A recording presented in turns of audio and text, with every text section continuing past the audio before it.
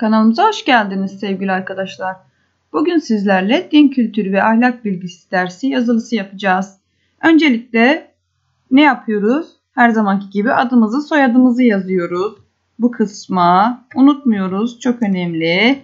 Bakın ben yazdım. Kanalımızın adı Panda Pen. Numaramı yazıyorum. Ben tabii ki öylesine bir numara yazdım. Sınıfımı yazıyorum. Siz de lütfen bunlara dikkat ediniz. Devam ediyoruz. Sorulara geçebiliriz şimdi. Sınavda sakince yazdıktan sonra aşağıdaki kelimeleri cümlelerdeki boşluklara uygun olacak şekilde yazınız demiş. Ben zaman kaybı olmasın diye size daha önceden yazmıştım. Kur'an-ı Kerim'in her cümlesine ne denir? Ayet denir. Hemen sizin için işaretleyeceğim. Dinimizce zengin sayılan bir Müslümanın her yıl malının belli miktarını ibadet niyetiyle ihtiyaç sahiplerine vermesine zekat denir. Allah tarafından peygamberlerin sonuncusu Hz. Muhammed'e bildirilen son ilahi dine İslam denir. Evet, İslam hemen yazdık. Kur'an-ı Kerim'in başka dillere tercüme edilmesine meal denir. İbadet niyetiyle tan yerinin ağarmasından akşam ezanına kadar yeme, içme ve nefsane arzulardan uzak durarak yapılan ibadete oruç denir. İslam dinini kabul eden kişiye Müslüman denir. Yukarıdan buluyorum cümlelerimizi, e, kelimelerimizi yerleştiriyorum. Allah her şeyi bir ölçüye göre gerçekleştirmesine, Allah'ın her şeyi bir ölçüye gerçekleştirmesine kader denir. İlk bölümümüzü bu şekilde buradaki kelimelerle tamamladık. İkinci bölümümüze geçelim. Aşağıdaki bilgilerden doğru olanların başına D, yanlış olanların başına Y yazınız demiş. Bismillahirrahmanirrahim'in anlamı esirgeyen, bağışlayan Allah'ın adıyla demektir. Evet, doğru bir cümledir bu. Ayetlerden oluşan Kur'an'ın müstakil bölümlerine cüz denir. Yanlıştır. Sure denir sevgili öğrenciler. Ramazan ayında oruç tutmak farzdır. Doğrudur. İslam'ın inanç esaslarını şüphe duymadan kabul etmeye iman etmek denir. İman etmek denir. Doğrudur. İslam'ın inanç esasları yani imanın şartları 5 tanedir. İmanın şartları 6 tanedir. Bu yanlış bir cümledir. Karıştırmayalım. Dikkat ediyoruz sınavda da. Hz. Muhammed'e duyulan sevgiyi ve saygıyı ifade eden dua cümlelerine salavat denir. Doğrudur. Kur'an-ı Kerim'de 6666 tane sure vardır. 6666 tane sure yoktur. Ayet vardır. Yanlıştır. 114 tane sure vardır. Evet. ikinci bölümümüzde tamamladık bu şekilde. Kelime-i şehadetin anlamını yazınız demiş. Eşhedü en la ilahe illallah ve eşhedü enne Muhammeden abdühü ve resulü'nün anlamı. Şahitlik ederim ki Allah'tan başka hiçbir ilah yoktur. Ve yine affedersiniz şahitlik ederim ki Muhammed onun kulu ve elçisidir. Hemen şu şekilde ve yine şahitlik ederim ki Muhammed onun kulu ve elçisidir. Sınavda bu şekilde yazarsanız doğrudur.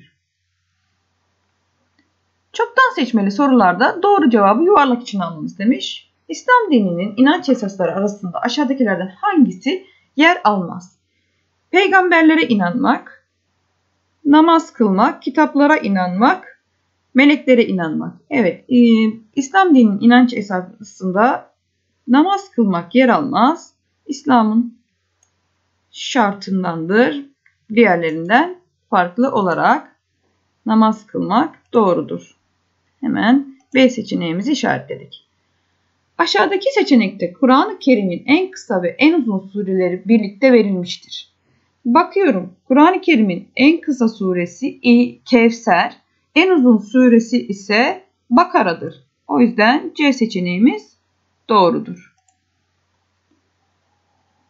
Yukarıda verilen ibadetlerden hangileri İslam'ın şartlarındandır?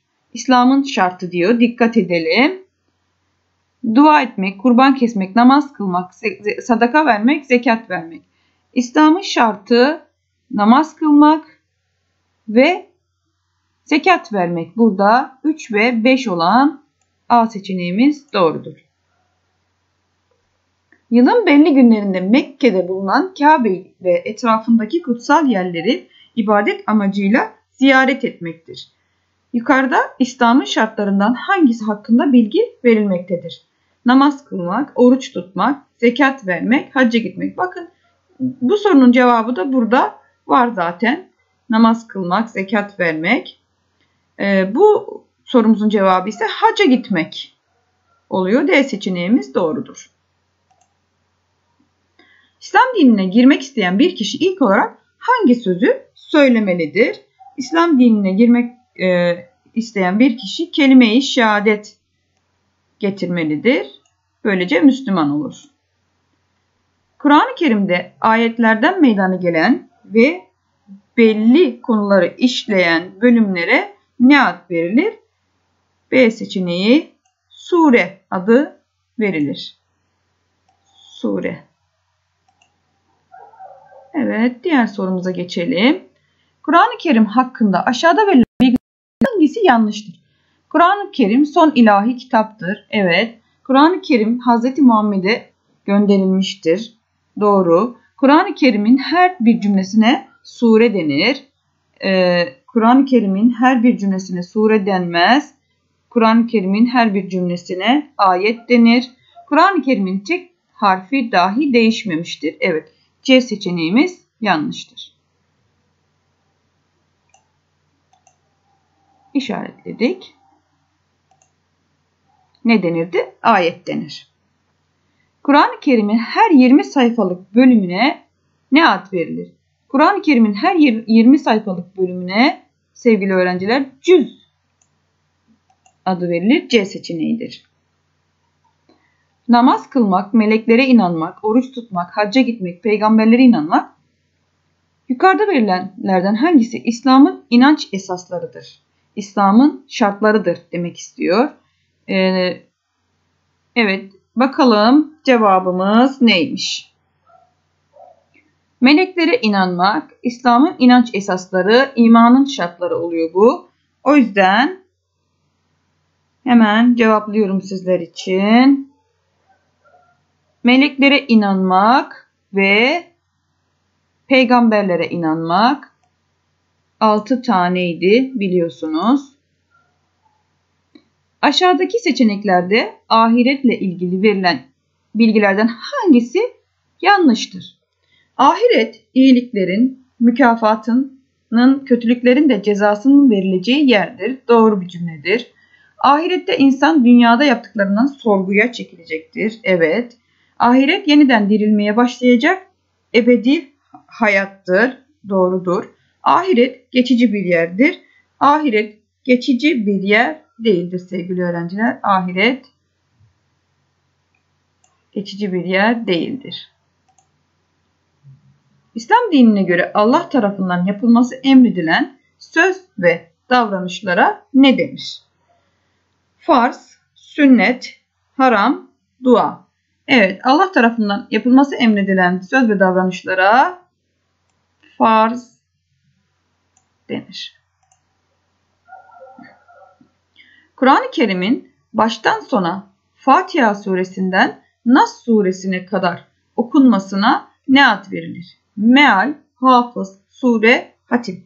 Evet Kur'an-ı Kerim'in baştan sona Nas suresine kadar okunmasına hatim denir sevgili öğrenciler hatim denir. Sınavımız burada sona erdi. Herkese başarılar diliyorum.